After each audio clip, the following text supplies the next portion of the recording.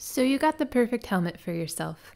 It fits great and is safety approved for horseback riding. But do you know how to take care of it? Let's hear some tips.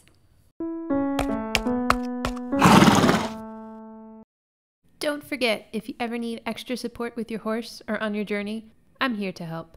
All my links are below. Check them out. Thanks. Okay, first things first. Where do you store your helmet? Do not store it in your car and do not store it in direct sunlight or anywhere warm. The heat can cause the helmet material to break down and not be as effective. Try to clean the removable liners inside of it as often as you can and do not get your helmet too wet. Invest in a helmet bag or backpack to protect the helmet from any drops or dings that may happen as you move it around. Finally, if you fall, replace your helmet even if it is a small fall. The materials inside of the helmet can be damaged, and you cannot see that from the outside.